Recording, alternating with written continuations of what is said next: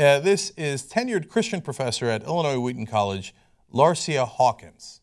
So uh, she did what uh, others around the country is doing. We uh, reported a woman in Conway, Arkansas, who's a local librarian who decided to wear a hijab, even though she is a Muslim, uh, to show solidarity with those who are being picked on and discriminated.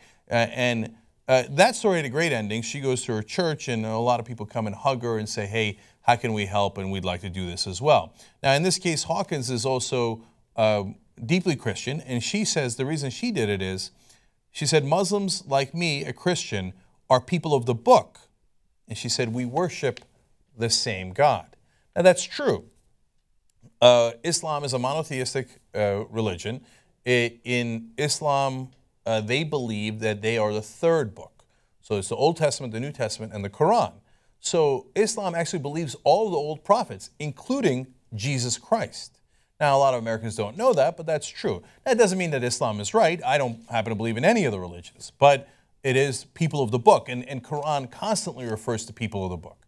And now, look, it, it sometimes says, oh, you should never hurt uh, a, a, Christian or a Jew because they're people of the book, and other times it says other things, right? Because it's a religious text, so it's wildly hypocritical, as the Bible is. But it, she's absolutely right. They do worship the same God. Allah just means God in Arabic. And in fact, in the Quran, you know who comes back to save us all? Well, Muhammad, obviously, right? No, Jesus H. Christ. because Jesus Christ is a prophet of Allah in the book. Allah just means God.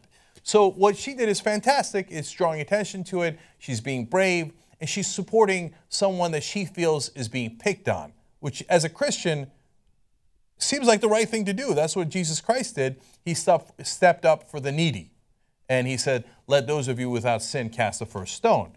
So uh, the Wheaton administrators were like, Yeah, give me a stone, somebody. Hurry up, let's cast it. So uh, immediately there are consequences.